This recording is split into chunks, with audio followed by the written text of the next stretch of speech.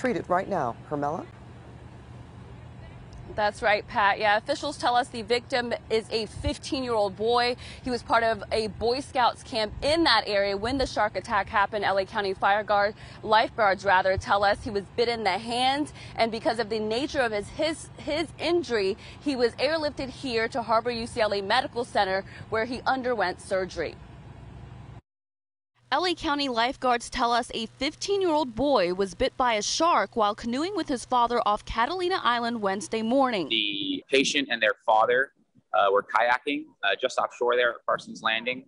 Um, and their boat was bumped by uh, a shark of unknown size uh, and type during the encounter, the patient had placed their hand in the water, or their, their hand was in the water, um, and uh, they were bitten by the animal. Officials say the teen suffered a hand injury and was airlifted to Harbor UCLA Medical Center to undergo surgery. Due to uh, the injury and the remote location um, uh, we decided to transport the patient via air ambulance to a local area hospital. Lifeguards tell us the father and son were in the water off of a quiet part of the island. That portion of Catalina Island is, is very secluded. Um, it's uh, it's kind of hike-in only uh, camping along those those portions of beach. Boy Scouts of Emerald Bay tell us the victim was at a youth camp. In a statement, a Boy Scouts of America spokesperson added, Our on site doctor and paramedic immediately provided first aid and called in additional medical personnel who transported the individual to a hospital.